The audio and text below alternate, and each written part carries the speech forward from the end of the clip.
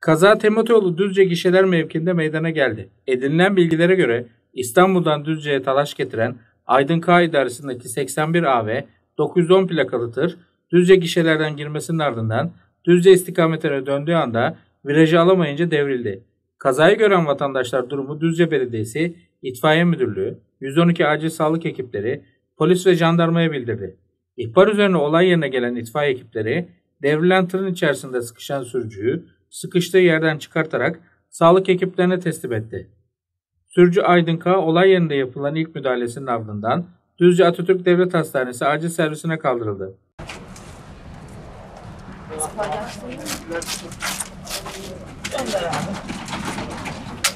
Tamam mı sana?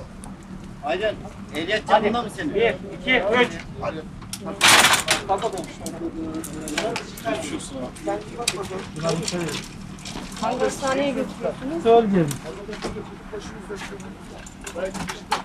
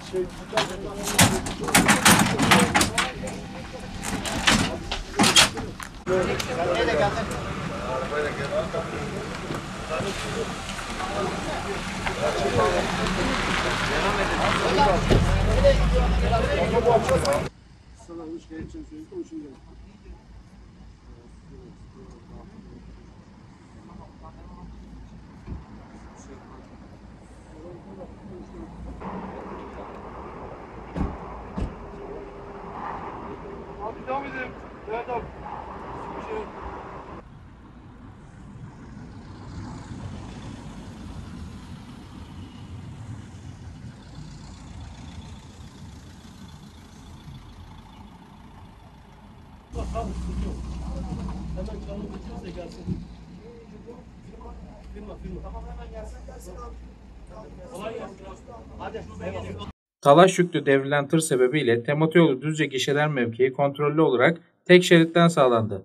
Tırın kaldırılmasının ardından trafik normal seyrine döndü. Virajı alamayarak devrilen tır ise havadan görüntülendi.